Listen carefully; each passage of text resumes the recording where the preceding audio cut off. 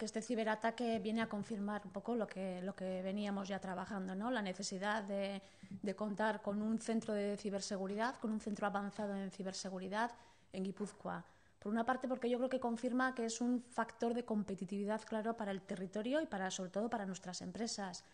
Hace unas semanas, eh, bueno, eh, en esta misma sala de prensa eh, comunicábamos que estábamos ya trabajando en el diseño de ese centro avanzado de ciberseguridad, con una clara vocación y orientada a la industria guipuzcoana.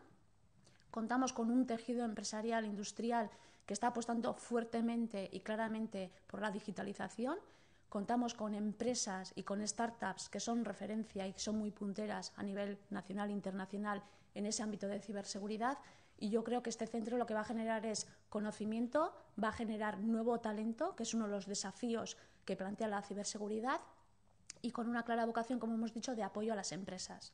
¿Eh? Estamos ya trabajando concienzudamente en el, en el plan Contamos ya con unos documentos de trabajo concretos que en breve vamos a contrastar con agentes internacionales, ¿eh? porque con el, objetivo es contar, eh, incorporar un partner internacional que apoye este centro. Nosotros tenemos, digamos, todas las fortalezas del territorio y así lo hemos puesto encima de la mesa. Contamos con esas fortalezas y creemos que es el lugar idóneo y por eso decidimos también hacer una de nuestras apuestas estratégicas en el ámbito de la ciberseguridad en Guipúzcoa.